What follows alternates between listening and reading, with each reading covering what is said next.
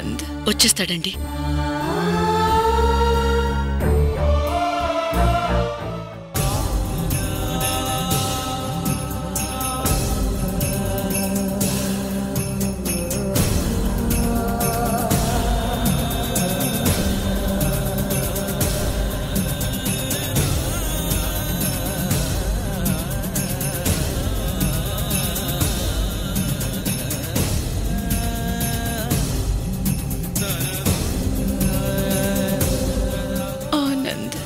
వచ్చేస్తాడండి బాధపడకండి. అమ్మా. అమ్మా. రా. ఆనంద్. ఆనంద్. అమ్మా. ఆనంద్. అమ్మా. అమ్మా. ఆనంద్. ఆనంద్. అమ్మా. ఆనంద్. వచ్చేసావా?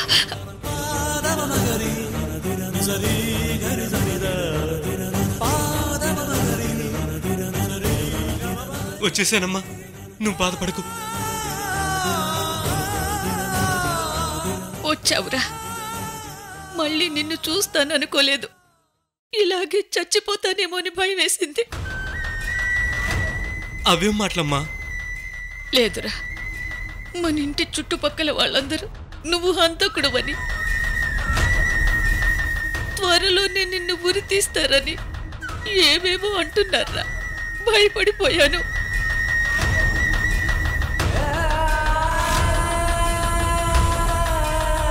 లేదమ్మా నేను ఏ తప్పు చేయలేదు.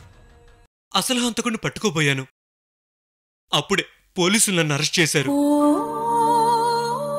కానీ అందరూ నీ భార్య రోజీ గారు పన్నిన కుట్ర అంటున్నారా?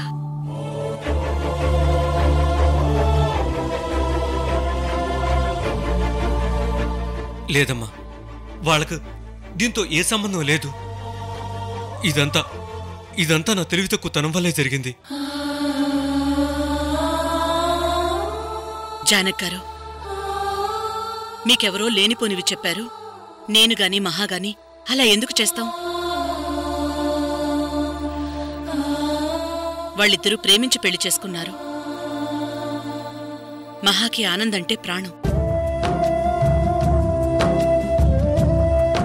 అందుకే నేను ఆ రోజు మీ ఇంటికొచ్చి ఆనంద్ని బ్రతిమాలాను. కాని తను నిజం చెప్పలేదు.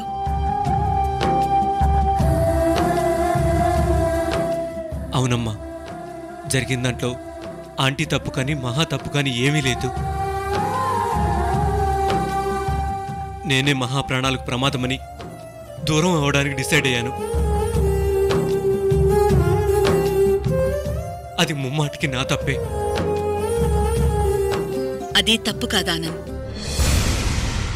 మహా మీద నీకున్న ప్రేమ. ఇలా జరుగుతుందని నువ్వు ఆ రోజే నాకు చెప్పుంటే ఏం చేయాలో నేనే ఆలోచించేదాన్ని. అవునంటీ. నేను అంత దూరం ఆలోచించలేదు.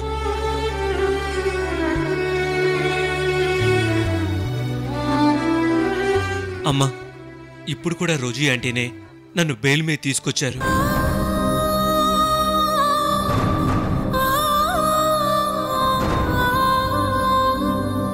వదిన నా కొడుకు నాకు దక్కించారు.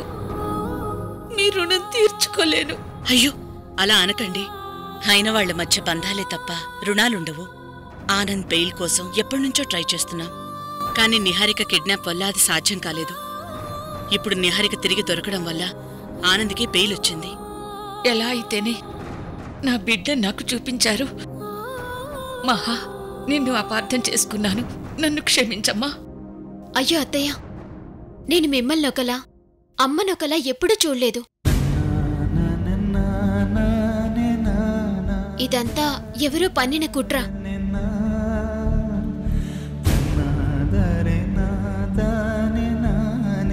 అవునమ్మా.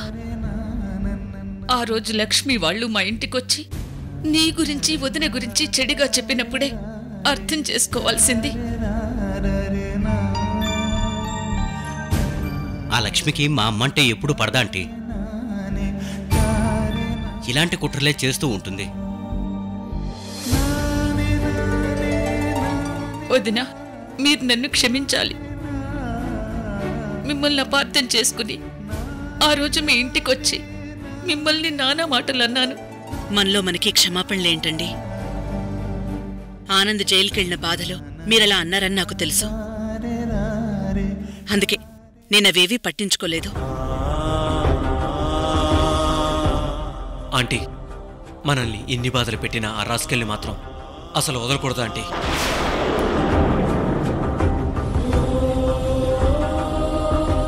ఆనంద్ అవన్నీ రోజీ గారు చూసుకుంటారు. నువ్వు మళ్ళీ ఏ గొడవల్లోనూ ఇరుక్కోకు. భయపడతారెందుకు అత్తయ్య మీ అబ్బాయి పెద్ద హీరో. అందుకే ఎవ్వరికీ చెప్పకుండా వెళ్ళి జైల్లో కూర్చున్నాడు. అమ్మా తల్లి ఇంకా ఆపు. ఇంకా నీకు చెప్పకుండా నేనేం చెయ్యను? జానక్ గారు ఇక మీకు ఏ ప్రాబ్లమ్స్ ఉండవు. ప్రస్తుతం మీ అబ్బాయికి బెయిల్ దొరికింది. తర్వాత ఈ కేసు నుండి ఆనంద్ని నేను బయటికి తీసుకొస్తాను. చాలు రోజీ గారు మీరు మాట ఇచ్చారంటే తిరుగుండదని నాకు తెలుసు. ఒరే ఇక నుంచి అమ్మాయి చెప్పినట్టు విను. నీ సొంత తెలివితేటలు వాడకు. మాట వినకపోతే నేను ఊరుకోనత్తయ్య. ఈసారి వాళ్ళు వీళ్ళు కేసులు పెట్టడం కాదు. నేనే కేసు పెట్టి లోపలికి తోయించేస్తాను.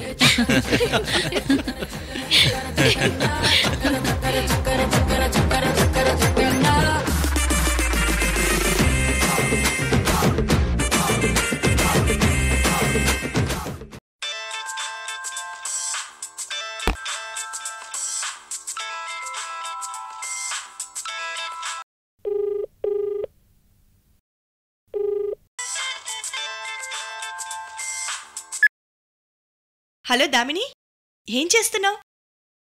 నథింగ్ ఏమైంది దామిని? వాయిస్ ఎందుకంత డల్గా ఉంది? ఏం లేదు. ఎందుకో లోన్లీగా ఫీల్ అవుతున్నాను. నా మీద నాకే చిరాగ్గా అనిపిస్తుంది. దామిని మళ్ళీ మొదటికొచ్చావా? మొన్ననే నీకు చెప్పాను కదా ఎవరి కోసము దేనికోసము మనం ఆగిపోకూడదు. జీవితం నడుస్తూనే ఉండాలి. ఆ సింధూర్గఢ్ నా పక్కనున్నప్పుడు నా జీవితం పరిగెత్తింది. ఇప్పుడు నత్త నడక నడుస్తుంది. అదే వద్దు.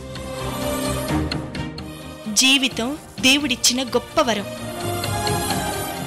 దీన్ని ఎవరి కోసమో కాదు మన కోసం మనం బ్రతకాలి. నువ్వు పక్కనుంటే ఈ బోరింగ్ కొంచెం తగ్గుతుంది. అంతే కదా? సరే ఇప్పుడే బయలుదేరుతాను. సరేనా? సరే.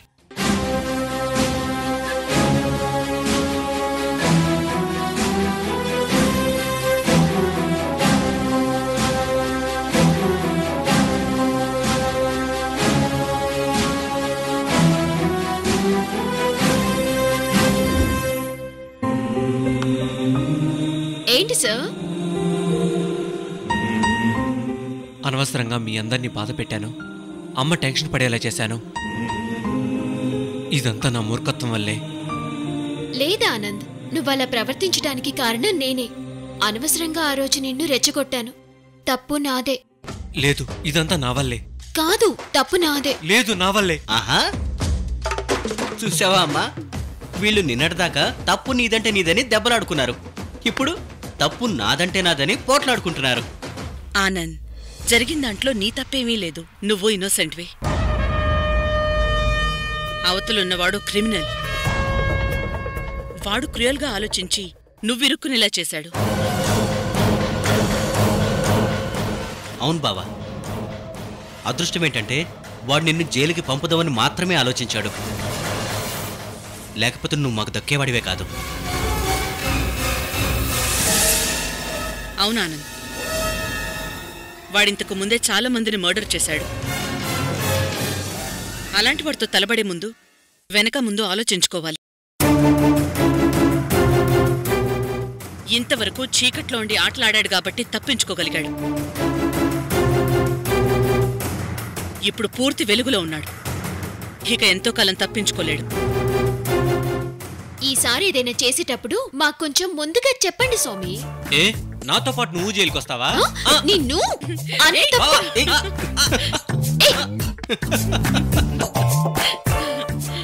అమ్మయ్యా ఒక ప్రాబ్లం సాల్వ్ అయిపోయింది. ఇక అరవింద్ గారి సంగతే చూడాలి.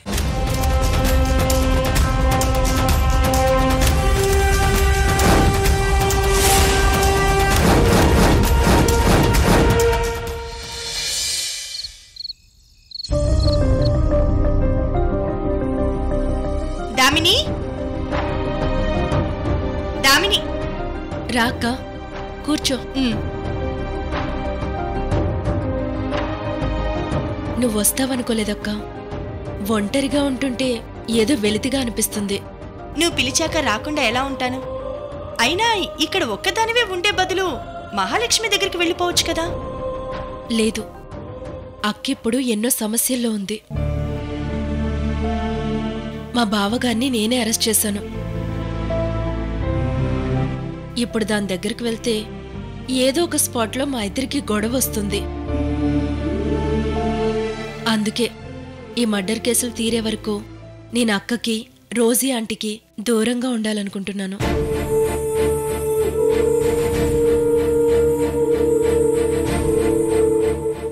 ఇంతకీ నీ పరిస్థితి ఏంటి? ఇందుమతి ఆంటీ నిన్ను కోడలిగా యాక్సెప్ట్ చేసిందా? నన్ను కళ్ళల్లో పెట్టుకొని చూసుకుంటుంది దామిని. ఇక అరవింద్కైతే నేనంటే ప్రాణం. పోనీలే అక్క. నువ్వైనా నిజమైన ప్రేమను పొందగలిగావు. దామిని అదే వద్దన్నాను. ఇది జీవితం. ఇక్కడ ఒకసారి కష్టం మరోసారి సుఖం వస్తూనే ఉంటాయి. మనం వాటికి బెదరకూడదు. ఏమో. నేను మహాలక్ష్మి దేవమ్మ కూతుళ్ళం. మాకింకో అక్క కూడా ఉంది. కానీ ఇప్పుడెక్కడుందో తెలీదు.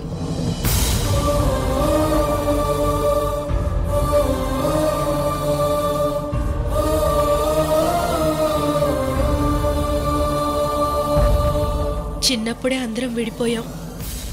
నేను పాడ్వాలో పెరిగాను. మహాలక్ష్మి అక్క రోజీ ఆంటీ దగ్గర పెరిగింది. ఇన్నాళ్ళకి కలుసుకున్నామనుకుంటే మా మధ్య ఎప్పుడూ గొడవలే. పెద్దక్క ఎక్కడుందో ఇప్పటికీ మాకు తెలీదు. మీ అక్కని నేనే అని చెప్పి మనసారా నిన్ను గుండెలకి హత్తుకోవాలనుంది. కానీ చెప్పే పొజిషన్లో నేను లేను. కొంతమంది జీవితాలు ఇంతే అనుకుంటా. అందరూ ఉన్నా ఎవరూ లేనట్టు. అన్నీ ఉన్నా ఏమీ లేనట్టు జరిగిపోతాయి. దామిని నీకు మీ పెద్దక్కంటే ఇష్టమా?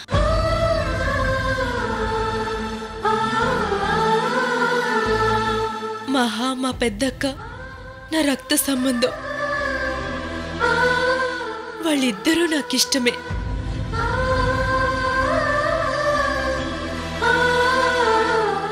రోజీ అంటే ఒకసారి ఒక మాట చెప్పారు.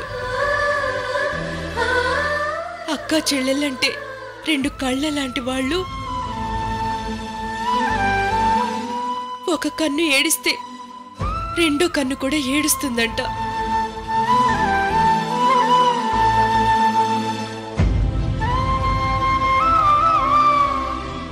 మేం విడిపోయేటప్పుడు నేను చాలా చిన్న పిల్లనక్క. నాకేవీ సరిగ్గా గుర్తులేవు. కానీ ఎప్పటికైనా మీ ముగ్గురం అక్క చెల్లెలం కలిసి సంతోషంగా ఉండాలి. తప్పకుండా మీరందరూ కలుస్తారు దామిని. అంతవరకు నువ్వు ధైర్యంగా ఉండు. నీకేం కావాలన్నా ఏ టైంలో అయినా నీకు నేనున్నాను. మన ముగ్గురికి అమ్మ అండగా ఉంటుంది.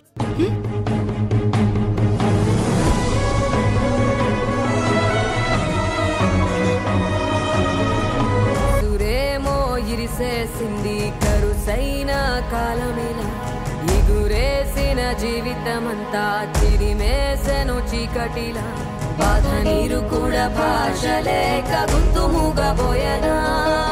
పొగిలినంతలోన పొంత నిండలేని నిండు వేదన. చేరదీయబోతే సాయమేమో యతి నీడ చేచన. నేరమెవ్వరిదో దారి తప్పి నిన్ను చుట్టి వేసనా.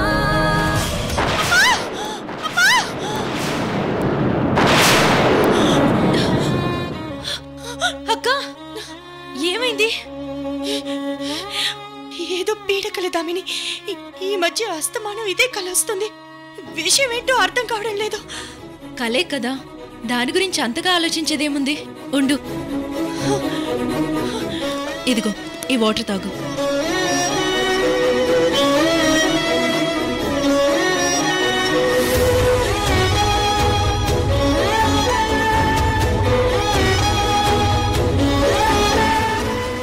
కలల్ని అలా తీసి పారేయకు దామిని. మన మనసులో నిరంతరం వేధించే సమస్యలే కలల రూపంలో బయటకొస్తాయి. ఎడిసన్ మూడు వందల సార్లు అనేక లోహాలతో బల్బ్ కనుక్కోడానికి ట్రై చేశాడు. టంగ్స్టన్ లోహంతో తయారు చేయొచ్చని అతనికి కల ద్వారానే తెలిసింది. మనం నిద్రపోయినప్పుడు మెదడులో ఒక భాగం మాత్రమే నిద్రపోతుంది. ఇంకొక భాగం మన జీవితంలో ఎదుర్కొనే సమస్యలకు పరిష్కారం ఆలోచిస్తుంది. మెదడు సూచించే ఆ పరిష్కారాలే కలల రూపంలో బయటకొస్తాయి. అంటే కలలు మన భవిష్యత్తును చెప్తాయా అక్క? సైన్స్లో అలాంటి వాటికి చోటు లేదు. కేవలం మన సమస్యలకు పరిష్కారాలు చూపిస్తుందనే చెప్తున్నాను. ఓకే దామిని పడుకో. నీ నిద్ర పాడు చేసినట్టున్నాను. పడుకో.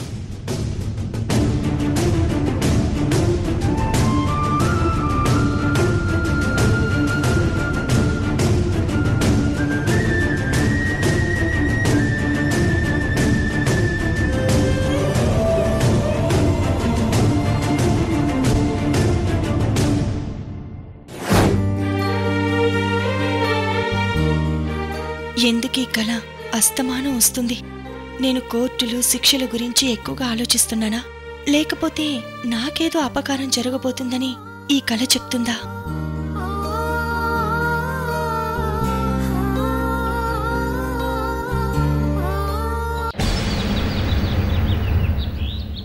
ముద్దాయి ఆనంద్ దోషి అనడానికి ప్రాసిక్యూషన్ వారు సమర్పించిన సాక్ష్యాలు నిరాధారమైనవిగా ఈ కోర్టు భావిస్తోంది.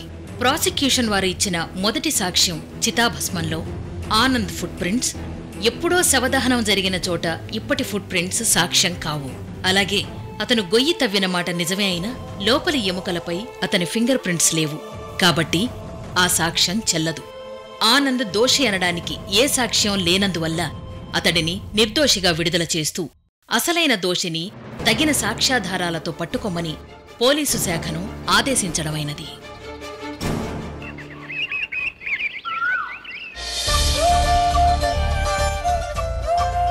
రా ఆనంద్. అమ్మా మనం గెలిచాం. కోర్టు ఆనంద్ని నిర్దోషిగా విడుదల చేసింది. కంగ్రాట్స్ మహాలక్ష్మి నీ భర్తను రక్షించుకోవడమే కాదు కెరీర్లో కూడా మొదటి విజయాన్ని సాధించావు.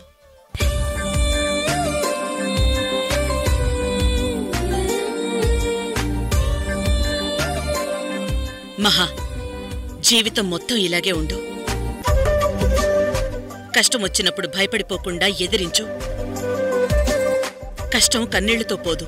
ఎదిరిస్తేనే పోతుంది. థ్యాంక్స్ అమ్మా. నేను లైఫ్ లాంగ్ నీ అడుగు జాడల్లోనే నడుస్తాను. అవును ఆంటీ. మీరు పక్కన లేకపోతే ఈ పాటికి నాకు ఉరిశిక్ష పడేది. ఆ దుర్మార్గుడు నన్ను అంతగా ఇరికిచ్చాడు. ఆనంద్ ఒక్కటి గుర్తుపెట్టుకో. మన జీవితాన్ని వేరెవరూ శాసించలేరు. మన లైఫ్కి కర్త కర్మ క్రియ అన్నీ మనమే. ఎవరో బెదిరించారని అయిన వాళ్ళని వదులుకోకూడదు.